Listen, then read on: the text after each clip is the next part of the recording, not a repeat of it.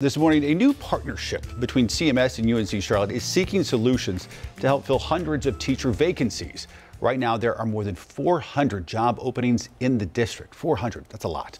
WCNC Charlotte's Richard DeVayne now live for us this morning. And Richard, this collaboration is looking to do more than just fill positions. That's right. It's uh, looking to fill positions with passionate folks who have a, a a burning desire to educate young folks.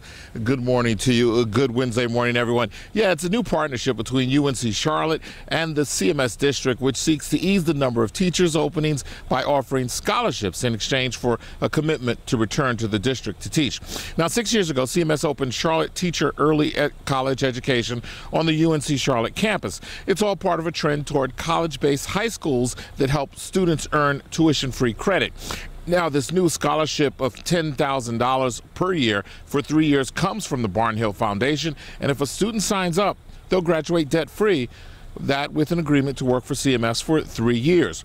Malcolm Butler, who's the president of the Cato College of Education right here on the campus, says this program helps attract enthusiastic students already with that passion and desire for education.